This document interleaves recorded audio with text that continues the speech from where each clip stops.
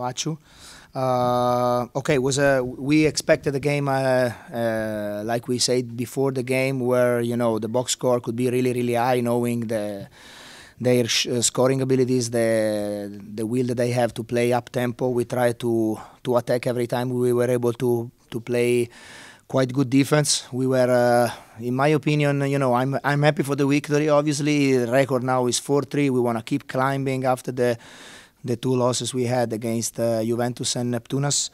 Uh, for sure, we are not uh, still able to be consistent for 40 minutes. So that's uh, that's our uh, our goal. We want to try to to be locked in, especially from the defensive uh, side, because uh, bad nights on shooting can happen. Can happen in a season. What can't happen in a bad night on focus on being locked in, play together, crashing the boards. And for example, we did a pretty good job in the first half uh, regarding offensive rebound because they are a very aggressive team on offensive rebound. In the clutch moment when they come back, was really bad. The the the we the, the way we protected our boards was offensive foul, basket and foul. So we have uh, still a lot of things to try to adjust.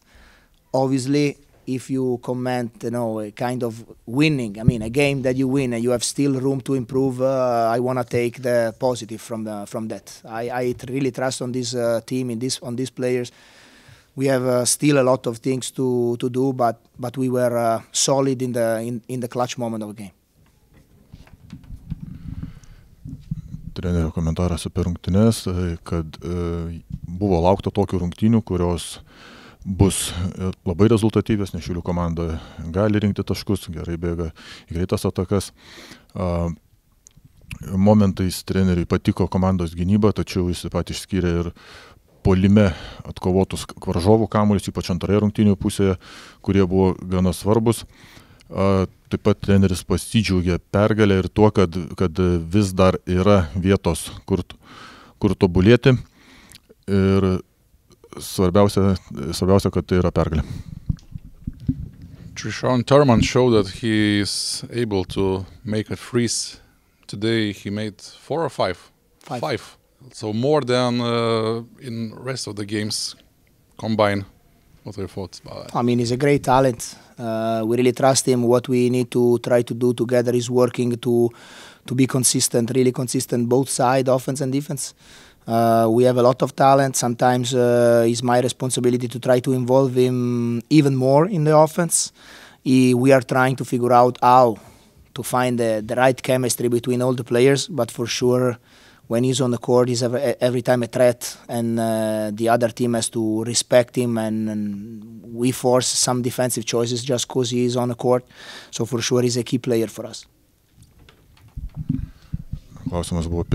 Penkis Trešono Turmano e, pataikytus tritaškius ir kaip treneris vertino žaidimą, pasak trenerio, tai jis labai svarbus komandos žaidėjas yra tikras talentas, tačiau reikia stengtis, ir, ir tai sako treneris, tai yra mano kažkokios sugybės, kad, kad jį labiau įtraukti į komandos atakas, taip pat e, reikėtų surasti jam geresnę chemiją su komandos draugais. Tuo pačiu jis yra tikrai svarbus polimo žaidėjas, kadangi jo dėka ir varžovai persistato savo gynybinės sistemas, nes nelabai gali jo palikti, todėl treneris tik norėtų, norėtų iš iš šio krepšininko didesnio stabilumo. Na ką pasakyti.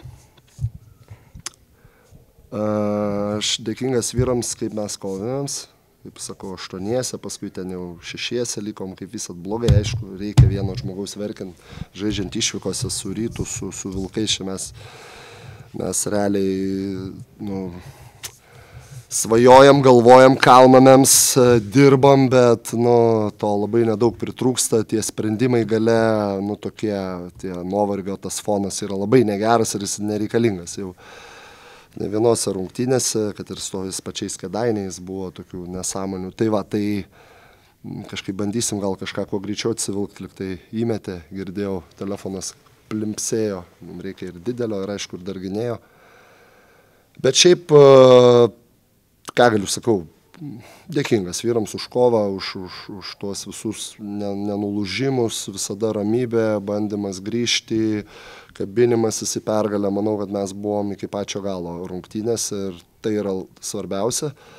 Ir, ir, ir, ir manau, kad tikiuosi, kad ateis tas laikas, kai galėsime mes jau dar rimčiau kabintis į, į, į atlapus vilkams. Dar labiau. Tai, tai va, antras momentas neturėjom pagarbos. Kai Tauras Jogėlas surėkė baudą, jisai gauna iš karto techninę. Kai tris kartus prie mano ausų, nu, čia ir Jeffris, ir, ir Miniotas rėkė baudą ir dar su keiksmažiūriu, nieks nieko nereaguoja. Tai, nu, pagarbos neturėjom. Tai kažkaip tai skaudu iš tos pusės, nes labai gerbiu darbą žmonių, kurie tie trys laksto, tikrai svarbų žmonės ir nebuvo labai, bet, nu, tokie dalykai kažkaip tai nepošia, sakyčiau, krepšinio, bet ką padarysi, tikrai pralaimėjom stipresniai komandai, jie stipriau žaidė, čia ne todėl pralaimėjom, bet, bet tie dalykai yra, nu, nereikalingi visiškai, skirtingi traktavimai. A, žinoma, šiandien sužaidė puikias rungtynės Turmanas, 18 procentų trakas iki to, aišku, mes jo ne tai, kad nedengėm ir žinojom, kad jis tikrai geras metikas, jau antri metai žaidžia, žinom, ką jis gali, bet tikrai labai stiprius sumetė tritaškius ir ten iš 10 ir iš 9 metrų tą vieną žudikišką, kur ypatingai tas, nu, labai skaudus buvo.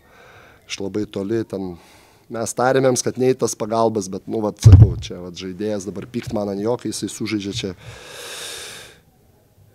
30 minučių, nu kažkaip tai neturiu irgi tokios didelės teisės, bet aišku, rodysim, kodėl, kam, kam čia to reikėjo, bet nu ką dabar. Labai rėkti nereiksim. Rungtinių pabaigoje tas toks emocijų protrukis, kaip manot, kas lėmė? Nuovargis gal irgi prisidėjo jau? Na, tai lėmė, lėmė situacija, kad mes užspaudėm prie vidurio žmogų ir tenai turėjo būti arba vidurio linija, arba mūsų kamolys, bet buvo sušilta pražanga, žmogus susinervino tauras iš tikrųjų. Labai supyko, nes nu, neturėjo kur dėti, sustojo su kamuliu, einam dviese, su kūnais, nu ir kas, kad stumimas, nu, tai jis turi atsikratyti kamuliu. Stumimas, ta prasme, ne kūnų, ne rankom, ne kažkuo. Gal bauda jisai susinervavo, jisai ten paskui rėko, kokia čia bauda, kokia čia bauda. Tai va, ir, nu tai, žinot, uh, Baigim bairius, e, žiūrėkit, e, kad krepšinis, e, aš, aš lygiai taip pat bandau save vesti ir, ir žaidėjus orientuoti, kad šalta galva, karšta širdimi žaisti. Bet tai yra emocijos, tai yra, tai yra žaidimas, dėl to ateina žiūrovas ir, ir tos emocijos kartais šiek tiek jos prasiveržia, paleidžiamos ir, ir galų gale tai ir yra grožis krepšinio. Ta emocija. Žiūrovai užsiveda bangas, daro, palaiko saviškius. Tai, Tai sportas ir yra emocijos ir yra emocijos. Tai dabar, kad jie man čia šaltais veidais žaistų, tai ne, visiškai to net ir nenorit, tai aišku, kad tų galvų nepamestų. Labai gaila, ta situacija mums kainavo, kainavo irgi tokį, nu, du metimai, plus dar techninė, nu tai ką, ką čia, kaip sakau. Trys taškai, tokių momentų, tai viskas praktiškai, rungtynės buvo ir uždarytos su tuo. Bet čia sakau, čia nekvesionuoju dabar, ką čia buvo, kaip buvo.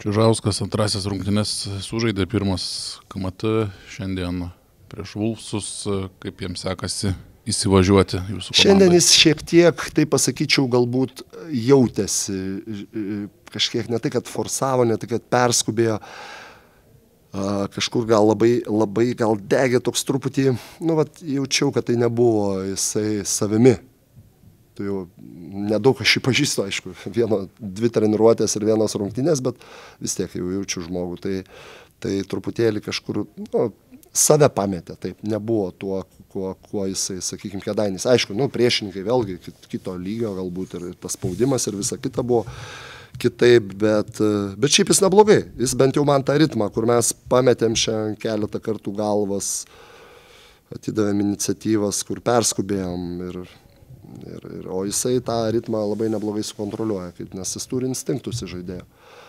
Tai aš jo nenusivylęs. Net ir šiandien, kad jis ten ir nepelnė gal tų taškų kažkokių, tai ten kaip praeitose rungtynėse, bet, bet, bet šiaip viskas su juo gerai.